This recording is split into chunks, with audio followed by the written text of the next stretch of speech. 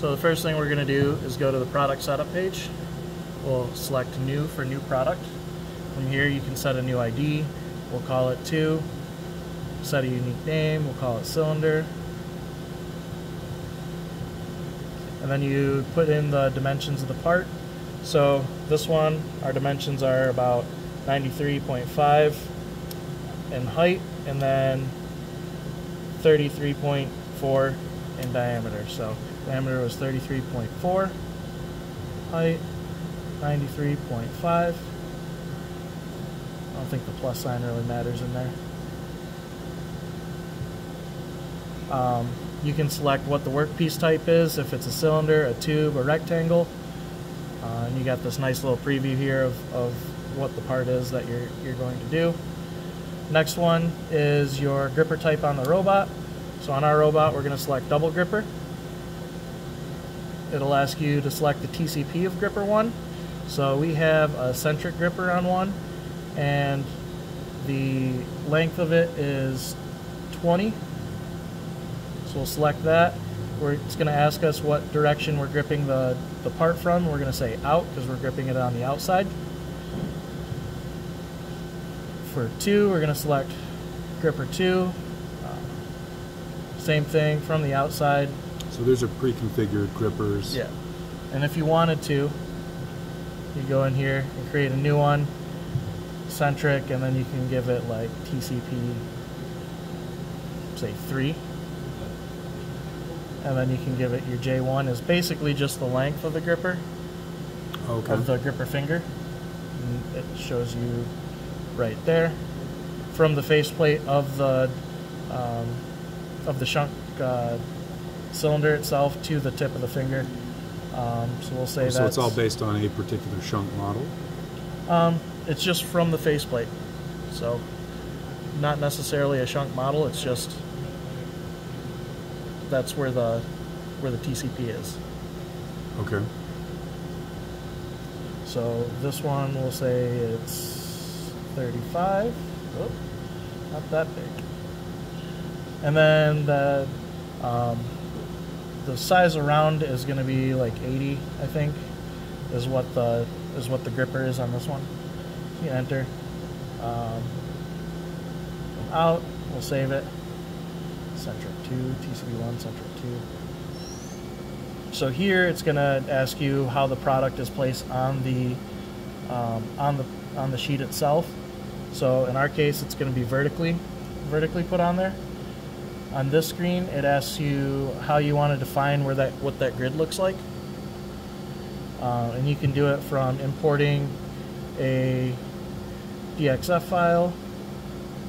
So we can say this one But how do you get that DXF file on on the computer? computer, just USB.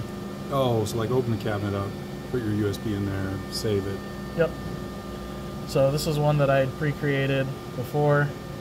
Um, That's cool because you're going to use a DXF to cut the sheet anyways. exactly, yeah. So then somehow it knows that inside the circles is your pick points. Yep. So um, oh, well, let's go back real quick. So GR tray updated. So that's your fiducial right there. Mm-hmm. And then we had our minimum, our maximum part diameter was what was that? 30? Thirty-three point four. 33.4. So for the minimum, I always go a couple less. So we'll say 31. Maximum, we'll say 35. Your separator is just the thickness of that plate. Usually it's about three. Um, and then you can say apply, and it'll give us a DLL. Um, at place. Okay, Updated. Cancel.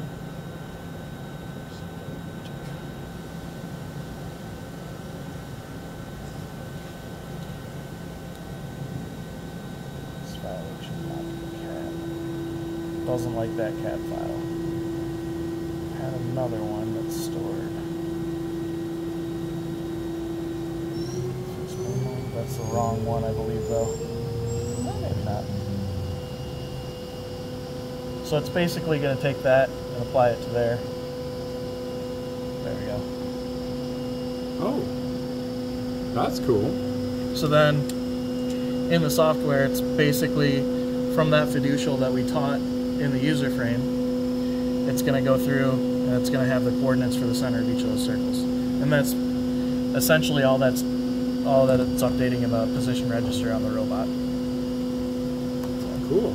So that's the easy way of doing it. Um, you can apply it.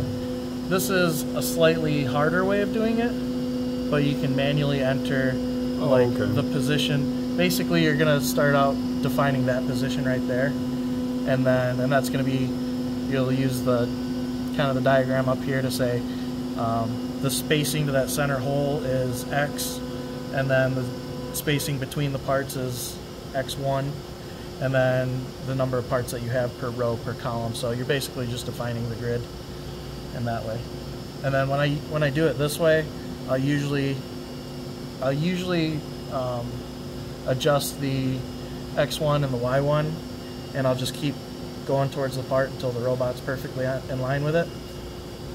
Oh, I see. Just adjust it, and then um, and then figure out what my furthest distance is, and then I'll divide it by whatever the number of part- Mhm. parts is, and then same thing for this, and then you're you're like spot on Oh, that's cool. with each of those. And then how does how does this transmit the data to the robot specifically? So does it just create a table of all of those 54 position registers and then feeds the robot that register whenever So it asks for, or does it fill them all up? How does that? So basically, each time you um, finish complete a task, so say you pick a part, right? Yep. Um, there's a there's a register in here that you say, okay, I'm done with that task, and then it'll send you another task. Oh, okay. And then anytime you go to pick a part, it updates the tray pick position, which is PR13. Oh, okay. It'll update that. Same thing with place. It'll update that. Um, and then, so each time it goes to a pick call, or it goes to a place call, Ooh, that's nice. or it goes to like a flex call, um, which is basically pick and place, it Oh. updates it updates those registers. Huh. Um, That's cool. So we can fly. Oh, go back here. um, no, hold on. Load separator open. Apply creates that. Apply. On our next one, so our next one we're going to define the process. So the process is going to be like if you're doing two CNCs, um, if you're doing two CNCs in a rotate station. Um, we'll just say for this one we're just going to do a single CNC. That's a single CNC, single op. Okay. You can preview it. Um, this is just going to generate kind of a dummy program. Floor count, five floors, 10 parts per floor. You can generate it. It's going to tell you it's going to start a new floor. It's going to pick a part. It's going to load the CNC. It's going to pick another part. Then it's going to swap out the CNC. And then this flex is the pick and place in the cube box. So it's basically going to pick, place a part, pick a part, Mm-hmm. swap CNC, place part, pick apart, and it's just this is the task that it's just generating that is going to get sent to the robot. So it's just a good way to double check, see if this is kind of the process that you're looking for. Okay. So if we go say like two CNCs, preview it, generate it. It's going to pick apart, load CNC one, pick apart, load CNC two, pick apart, swap CNC one, place, pick, swap CNC two. So you can kind of tell what, what the process is going to be. So in our case, we'll just do this one. Select. That puts it up here. So you have a couple you have a couple of things that you can define here. So our DZ is basically going to be the offset from the top of the um, plate. So I usually start that out at like 25. Um, you select the gripper that you're going to pick it with, TC, TCP1, and then you go to CNC. So this is where you can select CNC1, CNC2, if you've got like an outfeed station, something like that. So we'll do CNC1, select. Um, the offset values. So when we go and teach that first position, we'll just plug them in here. Oh, okay. and then this will always get sent to the to the robot every single time. Every time we run this program, it'll send those coordinates to the robot. Um, same thing for the unload. If there's a different station you're unloading it from or something, you put the offset values in there. So you also define. Uh, we already defined our TCP one, TCP two. Um, you can also define part dimensions and stuff. I usually just leave that blank and I change the z value. Um, and then your put, say how much you want to, how high you want to drop the part. I usually start out at 10, and then you're going to do it with gripper 2. You can also change the, So you always pick with gripper one You Always drop with grip. out of the out of the tray, and you always load with gripper 2. load with unload. unload with gripper two. If you've got a different process that you want to do, Oh, mileage fine. may vary. Uh, you can also define the um, nut and foot for the robot here as well. Oh, okay. Do you know what that means? Yeah, the elbow stuff. Mhm. Yeah. I always like to apply, apply, finish. Off the top of my head, couldn't tell you which one is what. No, me neither. So when you're ready to run the product, you come here to work, we do load, select the process you want to load to run, then you can do the placement. We've got five drawers. You can do it like this, where you select each drawer, start the placement, you can select all and it'll fill all of them, apply, apply, and it does all 270 parts. Or you can, come on, there we go. You can clear all. I like to apply it after I've done that. Or you can, and you can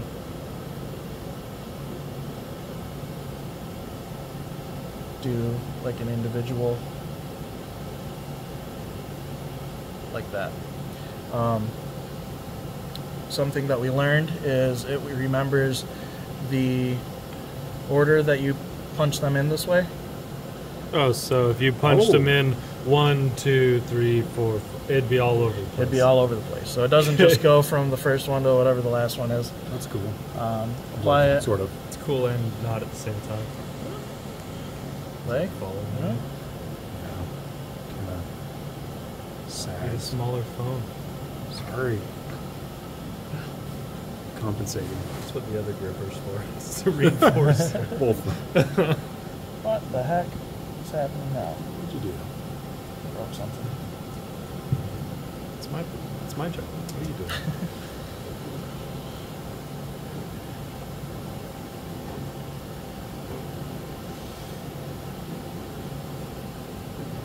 Work. Load. Placement.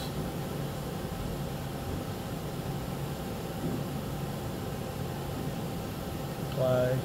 Puts them up there. You're only doing the top drawer. Then you do abort, reset, run. So this abort, reset, run is for the RoboCam software.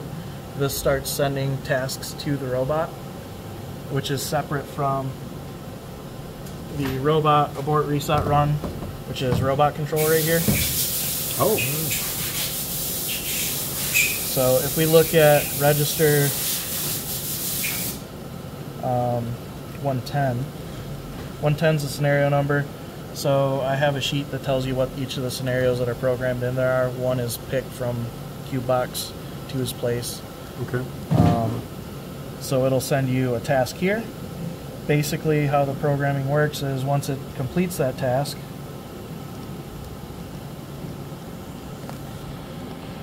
this task approved, the robot will set to zero. And it says load CNC1, so that's the next task. Scenario number changes. Once the robot finishes that task, it sets it to zero. And then it says pick again, same thing. Swap, now it goes to six. and you can see up, up here it also echoes what's being sent down here. It's cool. So, and you also get your pick PRs and your put PRs as well. That's pretty cool.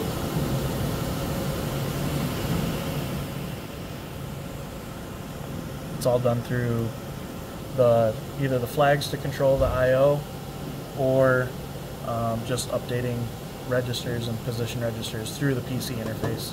Hmm. Awesome. It's cool. No Ethernet IP. Um, some other stuff. Under settings, if you cycle power on the robot and RoboCam is still up, it's going to lose connection. So if you go back, it'll and you try to like open and close drawers, it's not going to be connected anymore. So just go to connection, connection settings, disconnect, reconnect, and then it refreshes it. Oh, okay. I'm assuming if you just closed RoboCam and opened it back up, it would also be the same. As long as your auto connect at startup is on, is enabled. That's yeah, it, What else does it do? Um, that's pretty much it. I mean, you have your I/O control here. It's basically just taking the place of a PLC t- sending tasks. So you can have that. You have your alarm log, which you can read the alarms that are on the robot, teach pendant. Oh, that's cool. Oh man, that'd be nice. Yeah. I'm working on getting them to add in user alarms to that as well. So all the user alarms that I defined on there also pop up. Cool. Yep. What does robot control do? Oh yeah, that's. it's just the play And then you can mess with the speed. It looks like, Mm-hmm. and that updates on the pendant automatically. Yep. Um, the Tell it to home button home. I have programmed in. So like if it's Jesus, if it's sitting in front of the machine door and you got to get in there or something like that, you can press the home button. It'll go back home and then it'll it'll stop. Oh, okay. Um, so basically, at the top of every task, I have a check in there for it. So Okay. And then if it's inside a machine, does it find its way home if it's inside a machine, or and you, you got to drive it out manually? If it's inside a machine and you abort reset run, it'll go into the recovery task and it'll backwards itself out. Oh, So oh. there's some programming involved in that, but Cool.